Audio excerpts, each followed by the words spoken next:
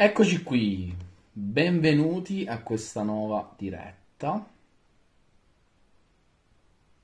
Aspettiamo come sempre qualche istante e eh, iniziamo questo appuntamento pomeridiano insieme. Oggi saremo circa una mezz'oretta in diretta, qualcosina in più, e risponderò alle vostre domande eh, sull'ipocondria mi sono segnato mh, mm, sul gruppo, ci sono state alcune domande molto interessanti che voglio andare a sviscerare proprio uh, adesso insieme. Aspettiamo come sempre qualche istante prima che le persone si connettano a questa diretta. Come sempre un paio di minutini per far arrivare le persone e poi partiamo.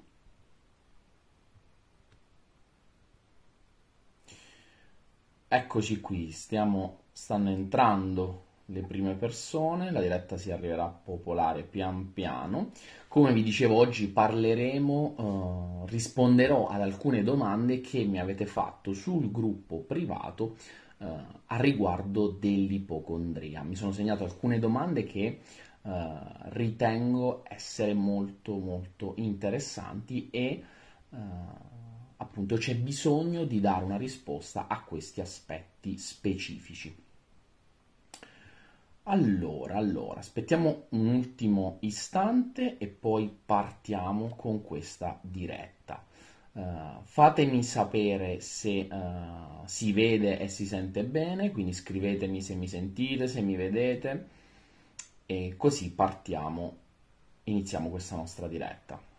Mi sentite? Si vede bene? Datemi conferma di questo, altrimenti mi sembra di parlare... Ecco, mi preoccupo di parlare da solo.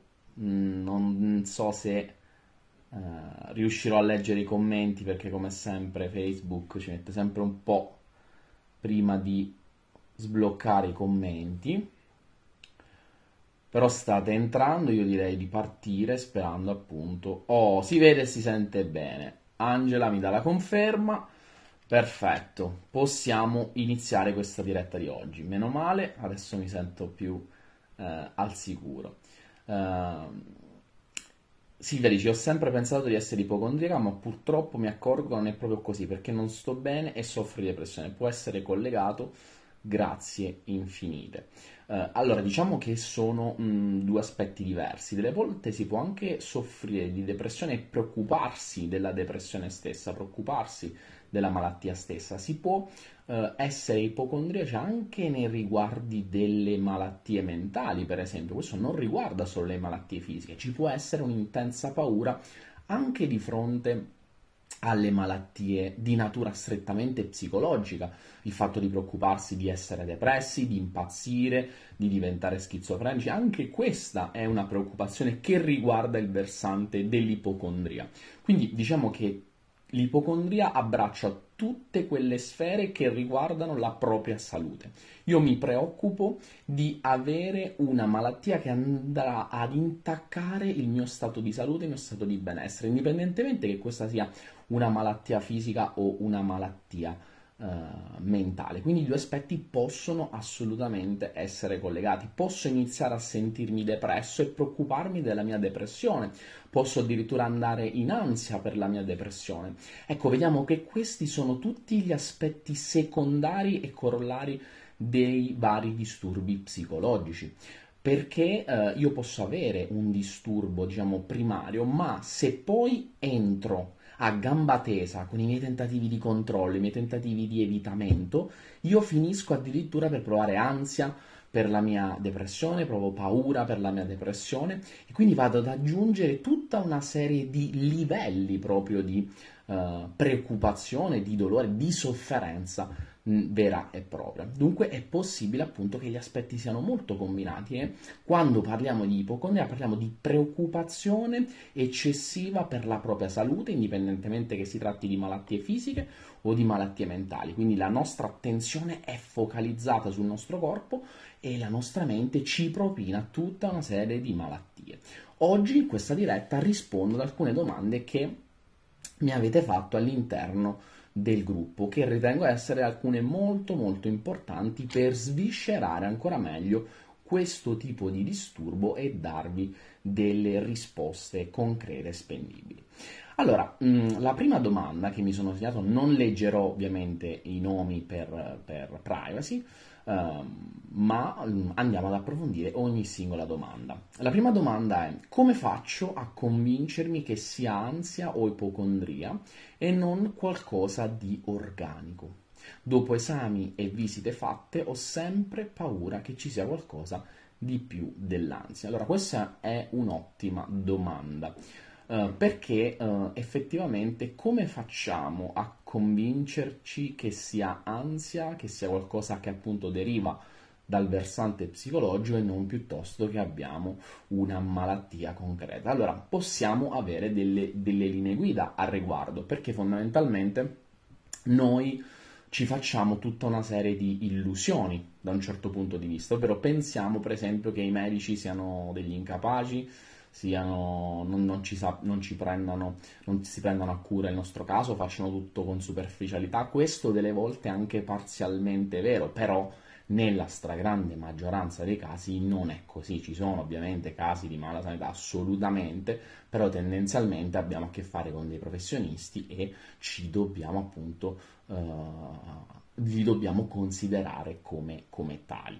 Quindi se diciamo, una linea guida può essere che nel momento in cui io ho consultato vari medici, ho fatto le dovute visite um, e queste visite hanno dato sempre esito negativo, la normalità è interpretare queste visite, queste, questa negatività di queste visite come un segno di salute e di benessere.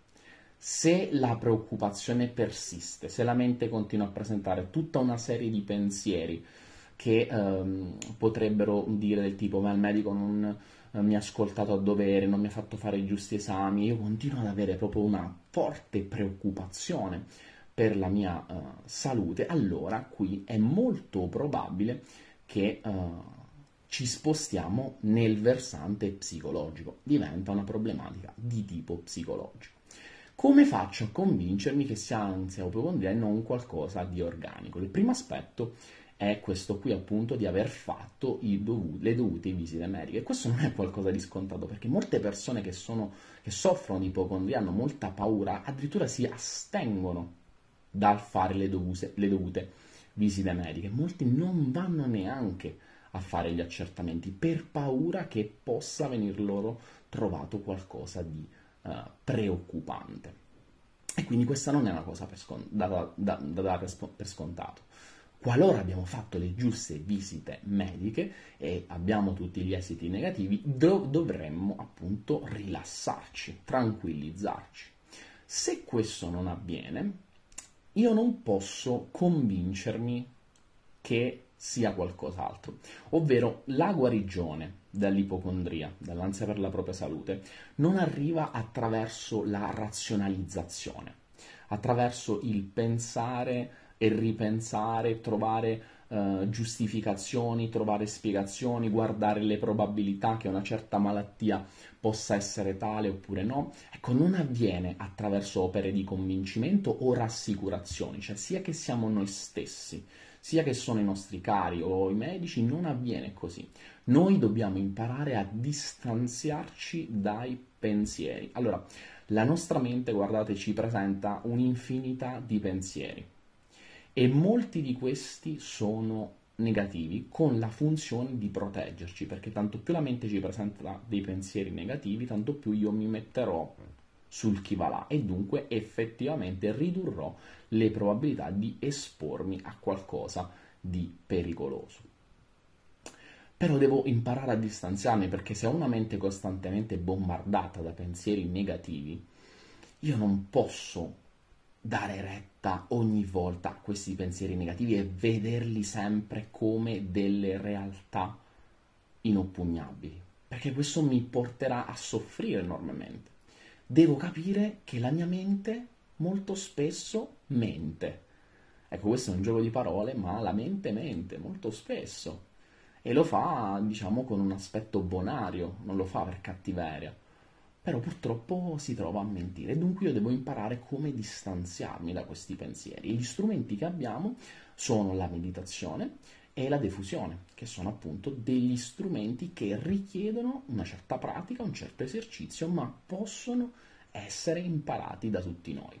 Quindi a questa domanda rispondo che non eh, si esce dalle proprie paure per la salute, per le malattie, attraverso l'autoconvincimento, quanto piuttosto vedere i pensieri per quello che sono realmente, accettare il fatto che all'inizio ci bombarderà la nostra mente se non presteremo lei la dovuta attenzione, ma piano piano se noi prestiamo sempre meno attenzione a questi pensieri, li rinforziamo sempre di meno, li lasciamo, li osserviamo, li lasciamo venire, li lasciamo stare e poi li lasciamo andare, ad un certo punto saranno sempre meno frequenti perché tanto io meno presto attenzione a qualcosa, tanto, meno, tanto, tanto minore sarà la probabilità che questa cosa si ripresenterà in futuro.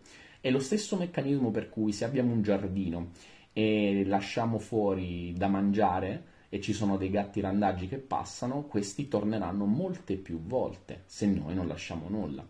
È la stessa identica cosa, tanto più noi prestiamo attenzione a qualcosa, tanto più quella cosa ci si ripresenterà alla mente. La nostra mente funziona in questo modo, è un principio cardine di proprio come funziona la nostra mente.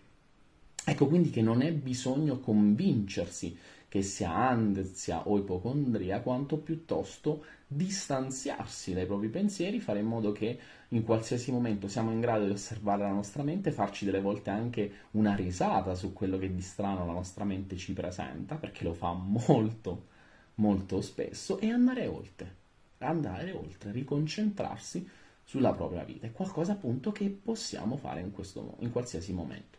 Dunque non cercate di eh, razionalizzare, di mettervi lì a tavolino, studiare, capire. Non è attraverso il pensiero che uscirete dall'ipocondria, ma attraverso la coltivazione dell'abilità di mindfulness e diffusione, insieme a tutto quello che è l'approccio appunto terapeutico di riferimento eh, che io vi spiego ogni volta, che è appunto la terapia cognitivo-comportamentale di terza generazione e nello specifico l'ACT. Un'altra domanda che mi era stata posta nel gruppo eh, è questa qui. In presenza di una malattia diagnosticata si parla ancora di ipocondria? Prima domanda. E la meditazione può ancora essere un metodo per gestire l'ansia? Quale percorso fare? Ok, qui ci sono più domande all'interno di questa domanda. In presenza di una malattia diagnosticata si parla ancora di ipocondria, ovvero se eh, una persona è stata diagnosticata una malattia, non parliamo più di ipocondria, perché in quel caso eh, la preoccupazione è eh, un qualcosa di, eh, diciamo, razionale, anche se non mi piace tantissimo come termine, ma è collegato ad un oggetto specifico che è stato diagnosticato. Quindi è una preoccupazione che ha come oggetto qualcosa che effettivamente presente. E dunque è un qualcosa che sta minacciando effettivamente la mia, uh, la mia salute, quindi una paura uh, tangibile, fisiologica, la definiamo come una uh, paura pulita rispetto a una paura sporca che è data appunto da una preoccupazione che in realtà non ha ragione d'essere perché appunto non è stata confermata da dalle dovute, eh, dalle dovute visite diagnostiche e dai dovuti esami diagnostici. Ecco, in questo caso la persona si trova a vivere eh, in intimità con se stessa con qualcosa che spaventerebbe a tutti noi ed è assolutamente fisiologico, una reazione normalissima in questo caso. Eh? Appunto, non c'è nulla che possa eh, sfociare appunto Uh, che possa essere dichiarato come ipocondria in senso stretto. Poi può rimanere ovviamente l'ansia e la preoccupazione, normale, ma è appunto una risposta fisiologica che tutti noi ci troveremmo a provare. Se allo stesso tempo questa paura, questa preoccupazione riven- diventa ridondante, prende quasi il centro totale della vita, la persona è mh, oltre ad avere la malattia organica, presenta anche un quadro psicologico di sofferenza. Poi, indipendentemente dal fatto che noi gli, diamo, gli appiccichiamo l'etichetta ipocondria oppure no, comunque è necessario andare a fare un lavoro su quella preoccupazione, su quell'ansia che è sorta a seguito della malattia.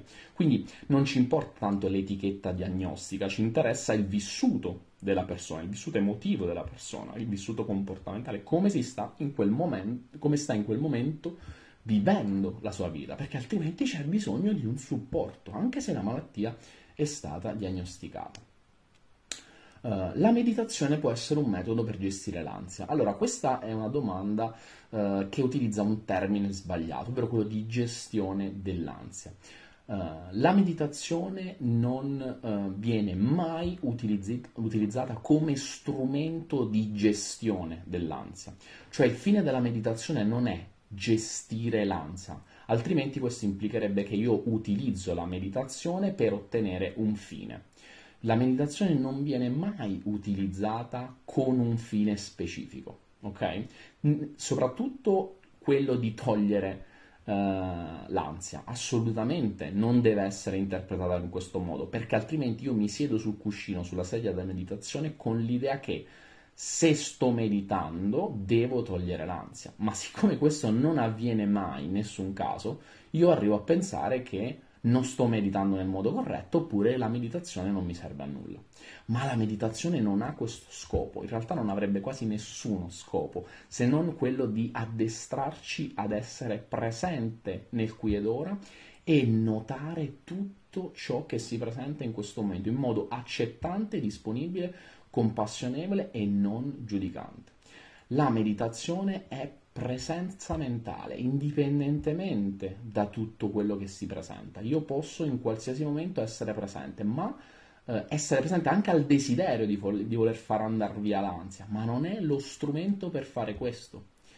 La terapia cognitivo-comportale di, di terza generazione, nello specifico l'ACT, ovvero la terapia dell'accettazione dell'impegno che io utilizzo, appunto si chiama terapia dell'accettazione, proprio perché vuole spostarsi, vuole differenziarsi dalla terapia cognitivo-comportamentale di seconda generazione dove il focus era quello di ridurre la sintomatologia. Noi non, noi non, vogliamo ridurre la sintomatologia come effetto primario, vogliamo espandere la vita della persona e insegnarle come sentire di più, come sentire a tutto tondo, essere disponibile a vivere tutto lo spettro delle emozioni umane per poi avere magari come conseguenza una riduzione della sintomatologia, ma non è mai l'obiettivo primario dell'intervento terapeutico. E la meditazione si basa su questa regola, anzi la meditazione è qualcosa che precede addirittura la terapia eh, dell'ACT.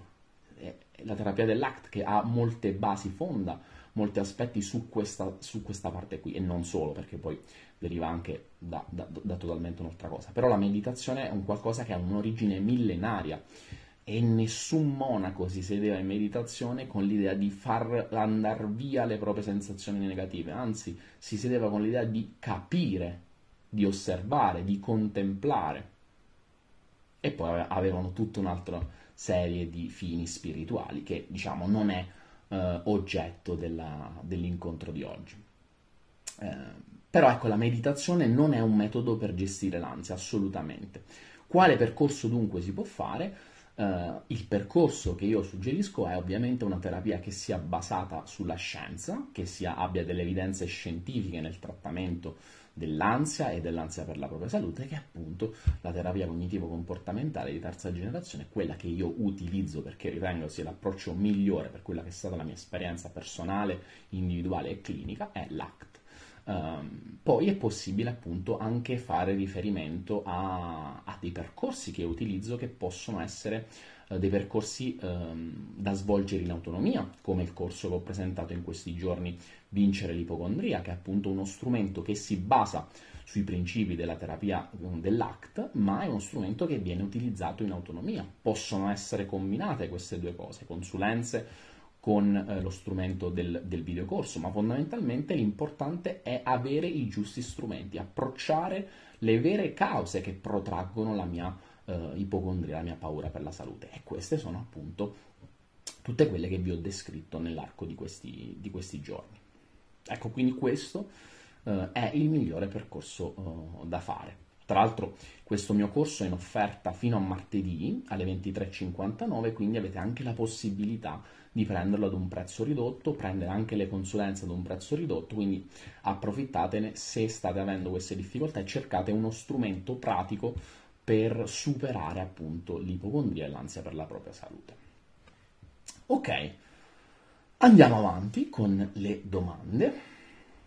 Io, un'altra, un'altra persona dice, io soffro di sbandamenti con cause non accertate nonostante ho fatto mille visite.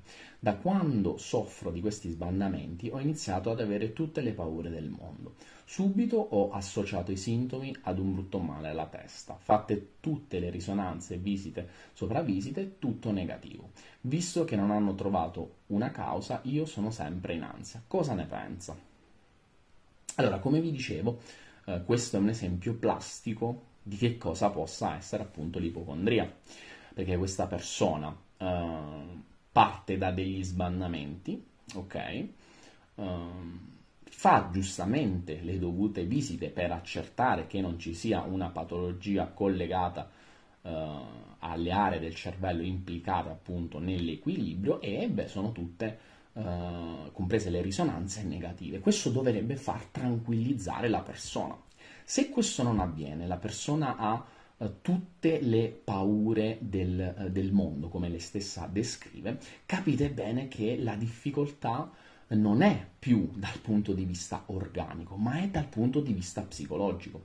Quindi cosa ne penso? Penso che un primo aspetto sia riconoscere la propria difficoltà.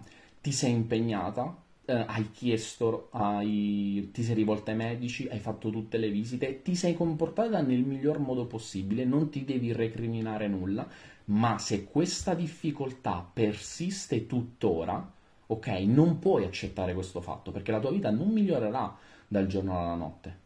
L'ansia purtroppo, e specialmente l'ansia per la propria salute, non si risolve col tempo o per magia. Ecco, riconoscere questo aspetto, riconoscere il fatto che ci si è impegnati con tutte le possibilità che si aveva, facendo tutte le visite del caso, spendendo tanti soldi, chiedendo rassicurazioni ogni volta, sono ancora all'interno di questo circolo vizioso, bene, adesso devo farmi un esame di coscienza, capire che eh, sono incappato in una difficoltà che ha un'altra origine. Dunque non è più cercando, uh, facendo ulteriori visite che troverò la risposta, perché alla fine guardate, la mente può presentarvi tutti i dubbi del mondo, vi potrà far dubitare di qualsiasi cosa. Veramente potrà pensare le cose più strane in assoluto, il linguaggio funziona in questo modo, può sbizzarrirsi la mente in qualsiasi, in qualsiasi maniera. Ecco, quindi non è facendo tutte le visite del mondo che eh, troverete giovamento da questo punto di vista, ma appunto lo troverete se andate a lavorare dove sorge il problema. Ho fatto tutte le visite, non c'è un problema organico, ok, o sto soffrendo ancora tanto, questa paura sta limitando la mia vita, ecco, devo realizzare che la sofferenza è dal punto di vista psicologico, non è più dal punto di vista organico. Perché il fatto di avere l'incertezza di avere o meno una certa malattia mi sta dando la certezza da, di avere una vita colma di paura e di preoccupazione. È lì che io devo andare ad agire. Dal punto di vista psicologico non può esserci altro tipo di guarigione se non andiamo a lavorare con i giusti strumenti dove na- sta nascendo e si sta protraendo la sofferenza e dunque è giusto fare un percorso che sia in terapia, che sia lo strumento corso più consulenza, ecco, ognuno ha le proprie possibilità e può scegliere come eh, procedere nel miglior modo possibile. Io vi do tante possibilità per ognuno di voi per affrontare queste tematiche. Sta poi a voi decidere, prendere veramente di petto la vostra situazione e decidere di voler investire su voi stessi e migliorare la vostra situazione, che penso possa essere la cosa più bella che potete, potete fare, quella di cambiare la vostra vita in meglio. Andiamo avanti. Altra domanda. Il training autogeno e la mindfulness insieme a psicoterapia aiuta per l'ipocondria? Allora, eh, ovvia- allora, intanto una piccola differenza tra il training autogeno e la mindfulness, semplicemente perché voglio farvi, voglio far chiarezza su queste cose, ok? Perché così voi possiate non confondervi, perché il training autogeno eh, nasce con l'idea fondamentalmente di aiutarvi eh, a rilassarvi. Uh, è qualcosa che ha la sua efficacia, ma serve appunto come tecnica di rilassamento, ok? Quindi ha una funzione sulla sintomatologia, ok? Uh, ma non ha la funzione della meditazione, che ha tutt'altra funzione, come vi ho spiegato brevemente prima e come vi ho spiegato in altre dirette uh, sulla meditazione, sui corsi che ho fatto sulla meditazione. Quindi se volete imparare realmente la mindfulness avete tanti strumenti, anche nel corso dell'ipocondria ci sono moltissime meditazioni che vi danno proprio contezza di che cosa sia questo, questo strumento. Quindi training autogeno e mindfulness sono due cose diverse. Ovviamente entrambe, eh, io per esperienza personale e clinica vi dico molto di più la mindfulness, vi aiutano eh, nell'ansia in generale e nel, nell'ipocondria. Ovviamente appunto come specifica questa persona accomunate alla psicoterapia. Sono, um, è come se andiamo così a uh, potenziare l'intervento stesso e ottenere tutti i migliori uh, benefici del caso.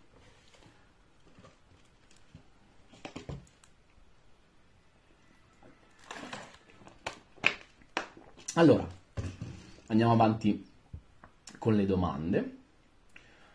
Io, una signora dice, io sin da bambina, qualsiasi sintomo, qualsiasi cosa, ho sempre pensato a brutte malattie o addirittura alla morte. Ad oggi, anche quando vado a fare l'analisi, piango perché ho paura che abbia qualcosa. Oppure, ora sono incinta e la situazione è particolare, ho dovuto sospendere la cura e l'ansia mi assale. Penso sempre a cose brutte, penso sempre che morirò in qualsiasi caso o che abbia una malattia. È tornato il senso di irrealtà che è la cosa che mi fa pensare che io sia vicina alla morte o varie cose. Mi gira la testa, mi sento stonata, ma so che è l'ansia perché è più forte di prima. Ma a volte penso a 100.000 malattie o cose varie. Anche per un dolore al petto penso ad un infarto. Ecco, questa signora spiega molto bene la difficoltà proprio che si trova a, a vivere una persona che soffre di questo tipo di difficoltà date dall'ansia per la propria salute e dall'ipocondria. Una cosa interessante che questa signora, signora dice è questa qui, um, quando sostiene che uh, mi gira la testa, sento, mi sento stonata, ma so che è l'ansia perché è più forte di prima, ma a volte penso a 100.000 malattie o cose varie. Ecco, questo è molto interessante perché la signora mostra una consapevolezza sul fatto che sia l'ansia, quindi una parte della sua mente ha questo tipo di consapevolezza, l'altra, ma a volte penso a 100.000 malattie o cose varie. Questo vi dà un'espressione, una visione plastica del fatto che non si esce dalla propria ansia per la salute, dall'ansia per le malattie, dall'ipocondria attraverso il ragionamento e la razionalizzazione. Perché come questa signora mostra è, è molto è fantastica l'immagine, che lei sa che è, è molto probabile sa che è l'ansia, ok, perché è più forte di prima, ma a volte pensa comunque a 100 malattie, 100.000 malattie eh, o cose eh, varie. Quindi è come se ci fosse all'interno della sua testa un continuo ping pong, ok? Uno scambio tra pensieri positivi, pensieri negativi, ogni volta si, la, mm, questa persona si dice una cosa positiva, poi subentra la mente che gli dice una cosa negativa, si ridice una cosa positiva. Ecco, è in continua lotta, è in continuo scontro con se stessa. Questo ci dà proprio la dimensione di quanto, per chi soffre di ipocondria, di ansia per la propria salute, la volontà di eh, controllare, di risolvere questa cosa attraverso la razionalizzazione non porti ad un miglioramento, ad una risoluzione del problema, ma porti ad esacerbare il problema stesso. Vedete, come vi dicevo all'inizio, non si esce da questo tipo di difficoltà attraverso la razionalizzazione, il pensiero stesso, perché lì è stata causata la problematica, attraverso proprio il modo in cui il linguaggio si manifesta all'interno della mente della persona. Ed è dunque operando ad un livello superiore, con delle abilità diverse, che non siano quelle prettamente linguistiche, ma siano abilità ad un livello più, alte, più alto, come la consapevolezza che si espande nella meditazione mindfulness, eh, a permettermi di vedere i pensieri per quello che sono realmente e distanziarmi da essi. Ecco, quindi non, non, può esserci una consapevolezza data dalla verbalità, ovvero mi dico no, finalmente so che ansia, perché la mia mente fra dieci minuti, fra mezz'ora, fra un giorno mi darà la possibilità, l'idea che in realtà è qualcos'altro, perché ha considerato un altro elemento. E siamo sempre all'interno di questo loop di preoccupazioni e non ne usciremo con gli stessi strumenti che l'hanno causato, ovvero con il linguaggio, con il pensiero, ma con la capacità della eh, consapevolezza affinata ad un livello superiore data proprio dalla meditazione mindfulness e dall'abilità di diffusione. Ecco, quindi è molto veramente importante quello che questa persona ha descritto proprio perché ci dà eh, la possibilità di comprendere cosa funziona e cosa non funziona. Uh, un altro commento di una persona sotto il post è stato questo qui. Io sono convinta di essere l'eccezione alla regola e che il medico non voglia approfondire perché non ho l'età per quella patologia. Ho come l'impressione di non esprimermi bene e quindi fuorviare, se così possiamo dire, il medico dalla diagnosi corretta. La mia paura è collegata ad esperienze altrui nella, nelle, quali, nella quale hanno, nelle quali hanno dovuto insistere con il medico anche per farsi prescrivere un esame che poi si è rivelato fondamentale nella diagnosi di una patologia.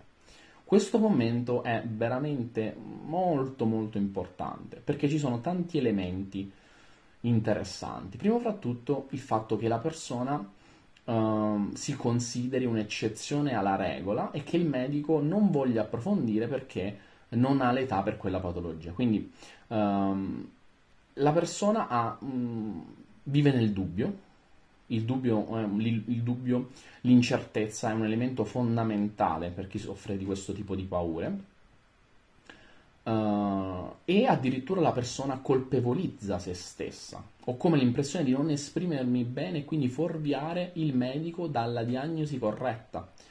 Cioè, immaginate quante volte magari questa persona si, fa, si è ripetuta mentalmente quello che doveva dire al medico per proprio aiutarlo a capire e quando le visite, eh, parlando con il medico, il medico dandogli delle visite delle, eh, da andare a fare, queste visite hanno evidenziato esiti negativi, ovvero che non c'era nulla, eh, la persona non vive questa cosa come segno di salute, quanto piuttosto il fatto di non essersi espressa bene e quindi aver potenzialmente fuorviato il medico dalla diagnosi corretta. Ecco, questa proprio è una, una, una descrizione classica di che cosa arriva a pensare una, una persona che soffre di ipocondria e di ansia per la propria salute.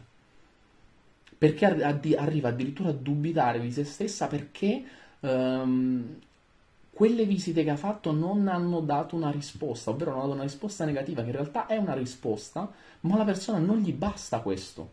Ecco perché vi dico, non è attraverso le visite che um, uscirete da questo tipo di difficoltà, perché se avete fatto tutte le visite del caso e tutte sono state negative, è probabile che tutte le altre che farete saranno negative al tempo stesso, o comunque troveranno cose quisquiglio, cose che non, non c'entrano molto. E non sarà così che la vostra preoccupazione andrà a scemare, ma è appunto cambiando la relazione che voi avete con il vostro mondo intimo, fatto di pensieri, di sensazioni, di emozioni c'è bisogno proprio di una rivoluzione personale per uscire dall'ansia. Ecco, noi dobbiamo uh, diventare persone diverse, ma nel senso che no, quello che noi già abbiamo dentro di noi, ma che purtroppo è sporcato da del fango, è come se noi siamo sotto delle sabbie mobili piuttosto che sopra. Abbiamo dentro di noi tutte queste possibilità, ma sono nascoste, sono celate da tanta polvere, tanto fango, tanta paura e tanta preoccupazione. Um, un altro aspetto molto interessante che questa persona sottolinea è che la paura è collegata, la mia paura è collegata ad esperienze altrui nelle quali hanno dovuto insistere con il medico anche per farsi prescrivere un esame che poi si è rivelato fondamentale nella diagnosi di una patologia. Cioè qui capiamo l'importanza delle regole verbali e del linguaggio stesso. Ecco perché io vi ripeto la nausea, la capacità di distanziarsi dai propri pensieri. Perché vedete, noi tutti, dentro la nostra testa, viviamo con delle regole verbali. Cioè noi vediamo il mondo attraverso la lente delle regole verbali. Tutte quelle regole che abbiamo appreso per trasmissione o per deduzione diretta.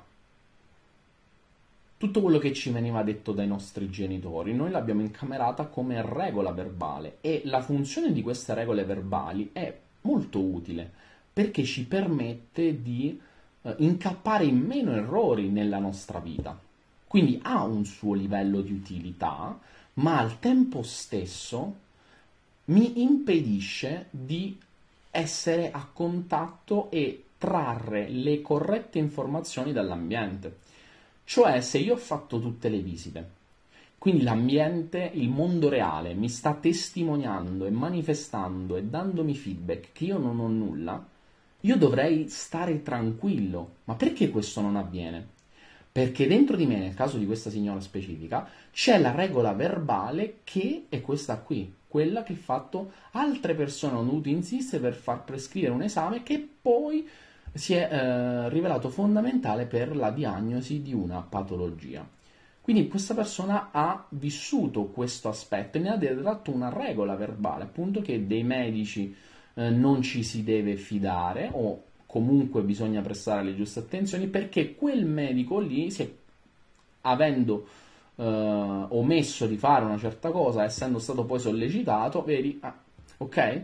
Quindi la persona ha questa regola verbale da un lato che la rende insensibile alle contingenze ambientali, cioè il contesto, il mondo reale le sta manifestando che sta bene, ma per via di questa regola mentale che ha dentro la sua testa, lei comunque non si sente bene, nonostante il mondo gli stia dicendo guarda è tutto a posto, hai fatto tutti gli esami del caso e stai bene. Ecco, capite quanto è importante lavorare dal punto di vista psicologico perché possono esserci tutte le visite, il mondo può dirmi tutto quello che io dov- dovrei sapere, ma se io non riesco a vederlo perché ho paura uh, e vivo all'interno di regole verbali che com- fosse come delle lenti colorate mi danno una visione del mondo distorta, io non esco da questo tipo di difficoltà.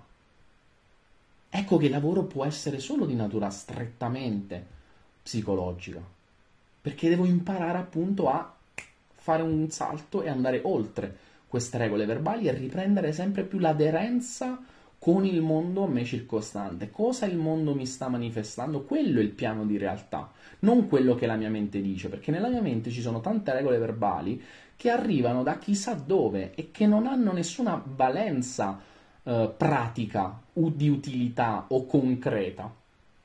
E noi vediamo il mondo attraverso queste regole molto spesso ci perdiamo all'interno di queste regole la possibilità di vivere appieno. Ecco di che cosa stiamo parlando qui. Ecco perché dobbiamo lavorare dal punto di vista psicologico, dobbiamo appunto uscire da queste difficoltà vedendo e utilizzando i giusti strumenti e acquisendo nuove abilità. Perché altrimenti se ci lasciamo costantemente um, dettare le regole del gioco dalla nostra mente, noi viviamo attraverso esperienze altrui ma quelle esperienze non sono assolutamente declinabili alla mia situazione, eppure io vedo il mondo con quelle lenti, quindi è come se stessi vivendo nei panni di un'altra persona. Pensate a quanto è potente il linguaggio nell'aiutarmi delle volte, ma anche nel limitare la mia vita, la mia capacità di esprimermi e di vivere appieno. Ecco perché è così importante, come io vi dico sempre, liberarci da, dalle maglie del linguaggio, sganciarsi dai propri pensieri è la cosa più importante di tutte, la libertà arriverà proprio da qui e da nient'altro. Questa è vera libertà. E la pratica della meditazione e della mindfulness mi permette di fare tutto questo, abbinato a tutto quello che è appunto l'approccio terapeutico di riferimento. Ok, ultima domanda, poi mh, mm, ci salutiamo. Uh, Io mm, non vivo, ogni sintomo penso al peggio, soprattutto dolore al petto, respiro male, respiro male e tachicardia, cuore e intestino. Um, ogni volta che c'è un sintomo mi spavento, penso al peggio, correrei tutti i giorni al pronto soccorso. Ho fatto un mucchio di accessi, uh, ho 33 anni, avrò fatto 200 accessi e non ne cavo un ragno dal buco e nemmeno le pasticche antidepressivi funzionano nulla di nulla. Allora, per quanto riguarda l'ipocondria, l'ansia per la propria salute, mh, mm, i farmaci che vengono prescritti sono quelli antidepressivi, nello specifico mh, mm, sono stati fatti numerosi esami, eh, viene utilizzata, utilizzata molto la paroxetina per esempio, eh, sono state fatte numerose ricerche al riguardo, un paio di ricerche al riguardo, che mostrano come gli effetti della... hanno confrontato la terapia cognitivo-comportamentale con la paroxetina, mostrando appunto una migliore eh, efficacia a duratura più tempo proprio della terapia cognitivo-comportamentale rispetto al farmaco. Inoltre per l'ipocondria non c'è un farmaco d'elezione per questo disturbo sia l'FDA americana sia il Ministero della Salute italiana non hanno dato le linee guida per nessun farmaco specifico, a dimostrazione del fatto che oltre il fatto che i farmaci si occupano solo dei sintomi, quindi semplicemente su quello che il corpo prova, e non possono proprio per ragion d'essere essere la cura a qualsiasi tipo di disturbo mentale se non un qualcosa che tampona. Um, per l'ipocondria, per questo tipo di paure, non uh, c'è assolutamente nessun farmaco di elezione. Quindi a maggior ragione noi abbiamo ancora più consapevolezza che le nostre problematiche, le nostre paure devono essere affrontate da un punto di vista psicologico, perché non sarà appunto con i farmaci che questa persona riuscirà a smettere, perché li sta già utilizzando, di eh, fare tutti questi accessi al pronto soccorso o di avere sempre questa tensione nell'andare al pronto soccorso, chiedere aiuto, eh, ogni volta che presenta tutta una serie di sintomi si spaventa, pensa all'infarto e quant'altro. È qualcosa che dobbiamo andare a risolvere all'origine stessa del problema e lo possiamo fare solo appunto con il giusto approccio psicologico. Vi ricordo eh, che eh, adesso ci salutiamo, vi ricordo appunto che per tutte queste persone che hanno appunto mi hanno scritto uh, dei loro sintomi, delle loro paure, hanno manifestato proprio la descrizione plastica di che cosa sia l'ipocondria. Per tutte voi a cui uh, ho dato risposte e per tutti voi che mi state ascoltando, se uh, vi siete riconosciute in, questo, in, queste descrizioni, in questo tipo di paure, ecco, sappiate che dall'ipocondria si può uscire, abbiamo adesso tutti gli strumenti, ognuno di noi può utilizzarli in autonomia o aiutati dal professionista per apprendere quelle abilità che vi porteranno definitivamente fuori da queste difficoltà. Ognuno di noi può farcela con impegno, dedizione, passo dopo passo, ma veramente ce la possiamo fare, a patto che prendiamo la situazione di mano, di petto e decidiamo di investire eh, su noi stessi. Se volete il mio supporto, vi ricordo che ho rilasciato un corso specifico proprio in questi giorni,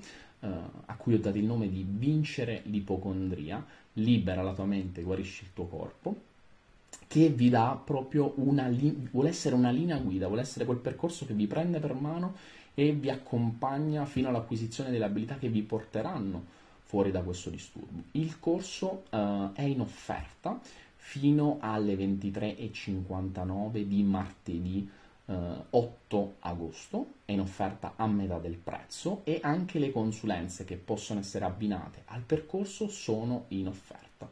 Uh, quindi se state vivendo questo tipo di difficoltà, questa è un'occasione per decidere di uh, investire su voi stessi, di prendere la situazione di petto e uscire da queste difficoltà, perché c'è tanta vita fuori dalle proprie paure, veramente c'è tanta vita ed è uno spreco non viverla appieno per queste paure che non si risolveranno mai facendo visite o avendo la certezza che non esiste di avere qualcosa. Ecco, noi dobbiamo migliorare da questo punto di vista e lo possiamo fare, possiamo crescere, possiamo cambiare, possiamo esprimere noi stessi appieno.